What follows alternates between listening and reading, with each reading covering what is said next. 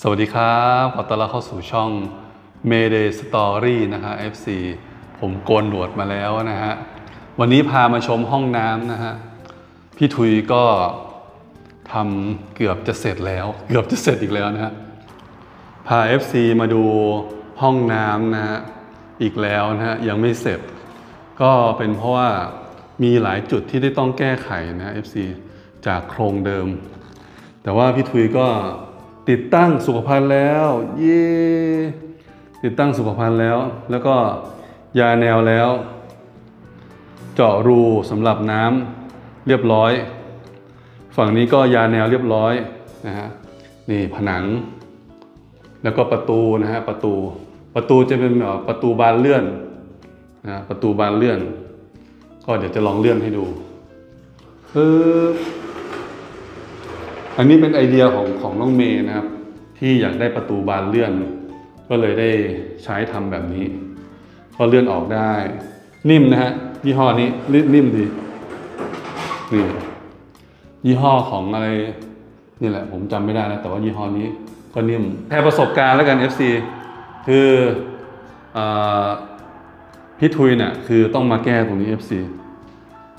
เนี่ยนะฮะต้องมาแก้ตรงนี้คือตอนแรกเนี่ย เขาติดหน้าต่าง เป็นการเจาะหน้าต่างแล้วก็ติดหน้าต่าง ติดเสร็จแล้วเนี่ยเขาก็เอาปูนมาโอบไว้ข้างบน ข้างบนตรงนี้ FC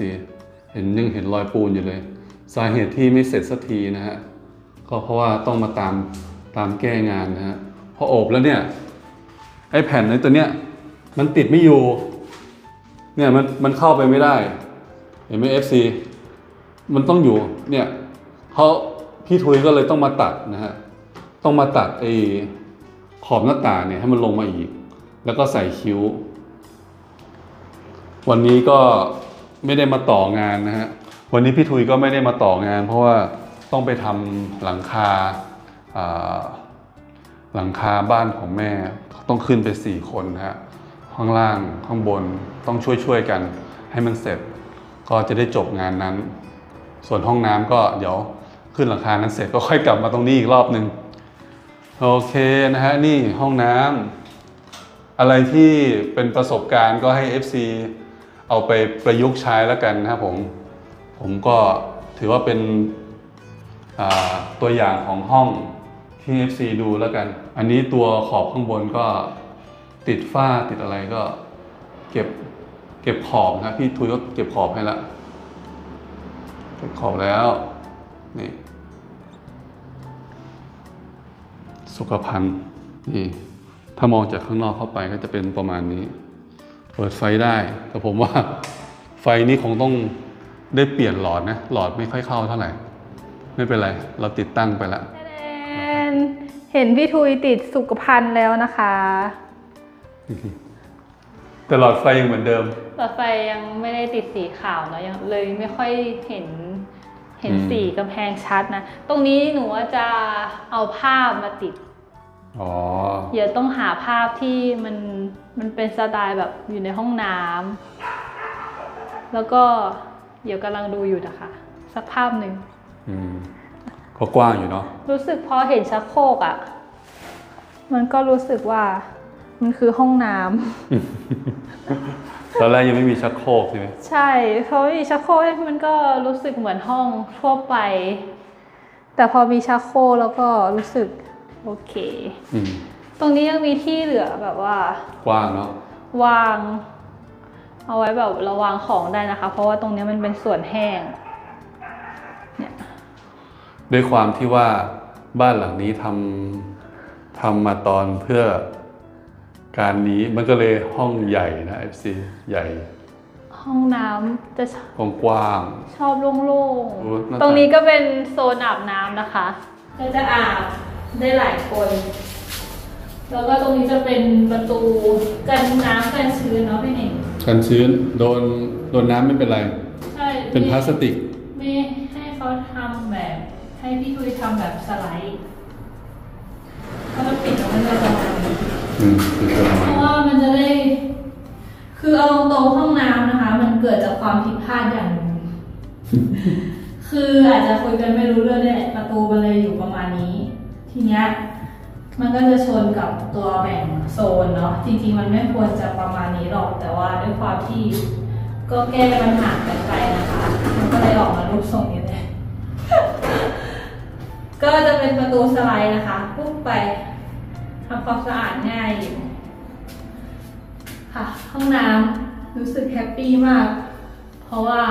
ถ้าช่วงนี้ใกล้จะประมาณ 8 เดือนเนาะ เอ่อช่วงนี้จริงๆก็เข้าห้องน้ำบ่อยอยู่แล้วนะคะ แต่ว่าถ้าช่วง8เดือนเนี่ยเห็นเขาบอกมันจะบ่อยกว่านี้ ต้องอยู่ในก็เลยคิดว่า เนี่ยแหละ อยู่ในห้องนอนแล้วก็เข้ามาห้องน้ำได้สบายเลย บางคนนะคุณแม่บอกว่าอยากจะเอาหมอนกับผ้าห่มมานอนในห้องน้ำอืม เพราะว่าเข้าห้องน้ำบ่อย อันนี้ก็ที่พออยู่นะคือนอนตรงนี้ได้เลย นอนได้ เนี่ย FC นอนได้เลย ลือที่มือติดอ่างล้างมือนะคะอืมเดี๋ยวพรุ่งนี้มาดูกันค่ะว่าพี่ทุยเกี่ยวพี่ทุยติดเสร็จแล้วมันจะเป็นยังไง ประมาณนี้นะครับ FC พาเดินดูบริเวณรอบห้อง โทนสีก็จะออกมาประมาณนี้นะฮะ สีขาวขาวๆสว่างสว่างๆสีขาวขาวๆสว่างสว่างๆมองไปห้องน้ำก็จะประมาณนี้ อันนี้ก็เป็นโทนของห้อง โถงนะฮะ อันนี้ยังไม่ได้เคลียร์ของ อันนี้เป็นของที่มาจากจำปาดงนะฮะ เอามาแต่ยังไม่ได้จัดไม่ได้อะไรเลย ตอนนี้ คิ้วก็ซื้อมาแล้ว แต่ยังไม่ได้ติด ไม่ใช่คิ้วสิมอบนะฮะมอบ โอเค ประมาณนี้นะครับมี FC คอมเมนต์เข้ามานะครับ เกี่ยวกับเรื่องน้องเมย์เนาะบอกว่าเหมือนกับคล้ายๆว่า เออ น้องเมย์ไม่ค่อยได้ทำงานอะไรเงี้ยอะไรนะ แล้วก็ทำอะไรไม่เป็นอะไรอย่างเงี้ยคืออยากจะบอกนะว่าคือจริงๆแล้วเบื้องหลังการทำงานทั้งหมดเนี่ยคือเป็นน้องเมย์นะฮะคลิปที่ถ่ายไปเนี่ยเราถ่ายมาแล้วเนี่ยน้องเมย์จะเป็นคนตัดต่อทำปกดูหลังบ้าน ดังนั้นถ้าว่าเหมือนกับว่าน้องเมย์ออกมาด้วย แล้วก็น้องเมย์ถือกล้อง ถ่ายน้องเมย์อะไรอย่างเงี้ยพอไปในขั้นตอนของการตัดต่อเนี่ยน้องเมย์ก็ต้องมาทำอีก มันจะทำให้เหมือนกับว่าไม่มีเวลาพัก ดังนั้นเนี่ย FC บางคนที่คอมเมนต์เข้ามาว่าเออไม่เห็นน้องเมย์ออกมาทำงานเลย หรือว่าน้องเมย์ทำอะไรไม่เป็นเนี่ยเรื่องนี้ก็ต้องขอชี้แจงตรงนี้ไว้นะครับว่าน้องเมย์เนี่ยเขาทำอยู่ในเเบื้องหลังทั้งหมด นะฮะในฉากหน้าผมก็ไปถ่ายนู่นนี่นั่นอะไรเงี้ยอัปเดตให้ FC ได้เห็น แต่ว่าพอเสร็จแล้วเนี่ยอย่างเช่นถ้าเราถ่ายมาสักถ่ายมาบางทีมันมันลงหมดไม่ได้ใน FC ถ่ายมาสัก 30 นาทีน้องเมย์เขาต้องมาดูอ่า30นาทีก่อน แล้วก็มาตัด แล้วใช้เวลาอีก 30 นาทีในการเรียบเรียง สรุปว่า 1 คลิปบางทีเนี่ย10 นาทีเนี่ยใช้เวลา 1 ชั่วโมงในการทำผมถ่าย 10 นาที แต่น้องเมย์นั่งทำอยู่ประมาณเกือบชั่วโมงหนึ่งนะฮะค่ะก็ดังนั้นเนี่ยเอ่อก็เล่าให้ FC ฟังว่าเอ๊ะทำไมถึงไม่เห็นน้องเมย์ออกมาทำนู่นทำนี่เท่าไหร่ แล้วก็เนี่ยน้องๆท้องด้วยเนี่ยเนี่ยหน้าที่หลักเลยตอนเนี้ยอันนี้หน้าที่หลักนะฮะตอนนี้คือดูแลน้องๆ แล้วก็หมอก็บอกว่าไม่ให้น้องเขาน้องเมย์อะเดินเยอะนะฮะไม่ให้ทำกิจกรรมอะไรเยอะก็เลยนอนอา ตัดคลิปอยู่บนเตียงนะฮะแต่ก็จะมีโซฟาอยู่บนโซฟาพอดีว่ามีเคยไปที่นาเนาะอืมที่ใบพาสอยู่ช่วงหนึ่งมันจะมีครั้งสุดท้ายที่เมย์ไปจะจำไม่ได้แล้วว่าเดือนไหน คือตอนนั้นอะที่ไปก็อยากจะไปอยากไปจะไปเดินเล่นเนาะอ่าแต่ทีเนี้ยไอตอนที่เดินออกมาค่ะกลับอะรู้สึกว่าวันนั้นอะคือกลับมารู้สึกว่าปวดปวดท้องปวดจี๊ดที่ท้องอะไรอย่างเงี้ย ก็เลยคิดว่า ปวดหน่วงปวดจี๊ดอืม ก็เลยคิดว่าอาจจะเป็นเพราะว่าเราเดินเข้าแล้วก็เราก็เดินออกอะ่ะ คือมันอาจจะเดินเยอะ เกินไปสำหรับคนท้องหรือเปล่าอะไรเงี้ยก็เลย ก็เลยถ้าถ้าไม่ค่อจะยเห็ได้นไปสวนเนี่ยจะไม่ค่อยได้ไปนะคะอืม แต่มันก็ไม่ใช่เฉพาะตรงตรงช่วงนี้นะ เป็นช่วงตั้งแต่ตอนที่อยู่จำปาดงด้วยแหละ บางคนกกอกอะเหรอ จำปาดงกกกอกอะไรเงี้ย บางทีบางคนเห็นเหมือนกับว่าอ่าเมย์ไม่ได้ทำหรือว่า อ่าทำนู่นทำนี่อะไรเงี้ย ออกมาทำกิจกรรมในกล้องอ่า ใช่ไหม แต่จริงเฉพาะตอนที่อยู่อ่าที่บ้านตอนนี้หรอกพี่ว่า อืม บางคนก็มองว่าเมย์เนี่ยไม่ได้ทำอะไรตั้งแต่อยู่ที่อ่ากกอกจำปาดงทำอะไรไม่เป็นอะไรอย่างเงี้ยแต่จริง ๆแล้วไม่ใช่ เขาอาจประมาจะณเป็นห่วงว่ามีแม่ทำอะไรไม่เป็นลูกก็จะเออทำอะไรไม่เป็นอะไรประมาณนี้ แต่จริง ๆ เราใช้เหมือนก็วางแผน เมย์เขาทำงาน ในโซนออฟฟิศนะฮะโซนออฟฟิศตัดต่อทั้งหมดอยู่ในช่องผมทั้งหมดเก้าเก้าสิบเปอร์เซ็นต์กี่กี่พันคลิปเก้าสิบเปอร์เซ็นนี่คือเมย์เป็นคนตัด แล้วก็ลงหน้าปกทั้งหมดนะใช่แล้วก็วางแผนในเรื่องต่างๆ เป็นคนวางแผน ก็จะประมาณนี้นะ FC ถ้าใครคอมเมนต์เข้ามาว่าน้องเมย์ทำอะไรไม่เป็นอีก ผมบล็อกอย่างเดียวนะ FC ไม่ไม่คุยละบล็อกอย่างเดียว แสดงว่าไม่ใช่ FC เราอาจจะใช่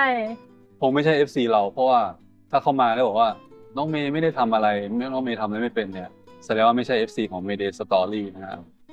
ก็ประมาณนี้แล้วกันเนาะ เนาะบางที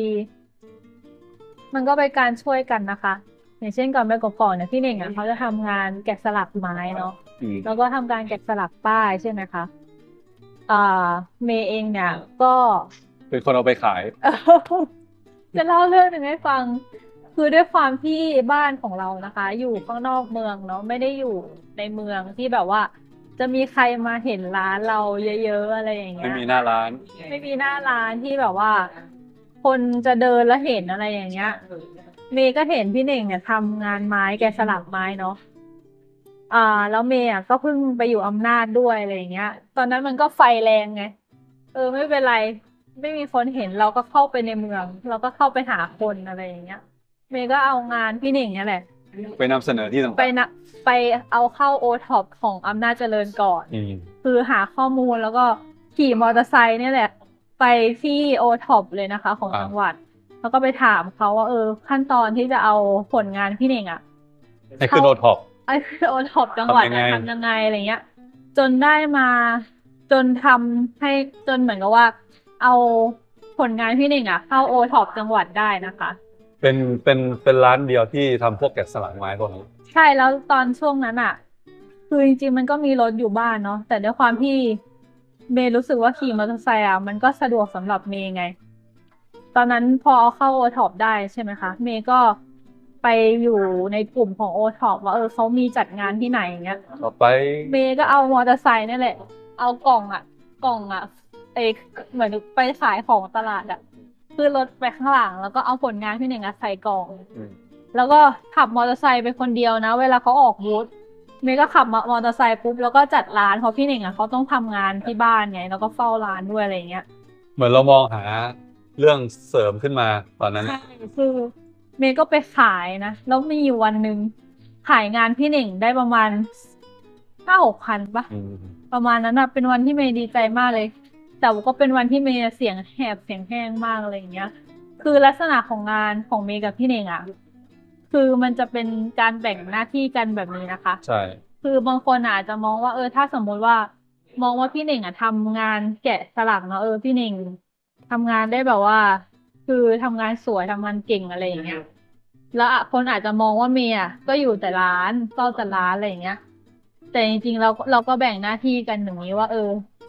เราก็เอาไปขายอืมพี่หนิงก็เป็นฝ่ายผลิต พอมาเราพอเรามาอยู่ที่กกอกอะเรื่องตัดทำคลิปทำคลิปผมส่วนก็เป็นมากอะฝ่ายผลิต ส่วนมากพี่หนิงก็จะเป็นผลิตอาจคจะลิปคนอาจจะติดพี่หนิงที่อ่าบรรยายเสียงนุ่มไง เมย์ก็จะมาอยู่ฝ่ายเบื้องหลังเออนำเสนอ ว่าเออ เราก็จะตัดต่อวางโครงเรื่อง จับจุดเรื่อง แล้วก็อีกหลาย ๆ อย่างนะที่ กว่าจะได้คลิปหนึ่งมาที่ท่านผู้ชมได้ดูอะไรอย่างเงี้ย หรือวันหนึ่งมีหลาย ๆ คลิปทำยังไงไม่ให้มันเบื่ออะไรอย่างเงี้ยอืมต้องมันวางก็ต้องมีการใช้ความคิดค่อนข้างเยอะอะไรอย่างเงี้ยมันจะเป็นการแบ่งงานกันทำแบบนี้มากกว่า ประมาณนั้นประมาณนี้แหละ เนี่ยครับคนเบื้องหลังเขาถึงบอกไงบางทีเราไปดูหนังเนาะ อืม เราอาจจะจำได้แต่นักแสดงไง แต่เราว่าเราจะไม่รู้ว่าเบื้องหลังคนที่ทำงานโปรเจกต์หนึ่งของหนังอะเขาจะไม่รู้ว่าใครทำอะไรบ้าง ถ้าถ้าไม่ได้ไปดูในรายการจริงๆว่าองค์ประกอบของหนังเรื่องหนึ่งมันมีอะไรบ้างอะไรเงี้ยเขาก็จะไม่ค่อยเข้าใจ ก็จะประมาณนี้สำหรับคลิปนี้เมเดสสวัสดีครับ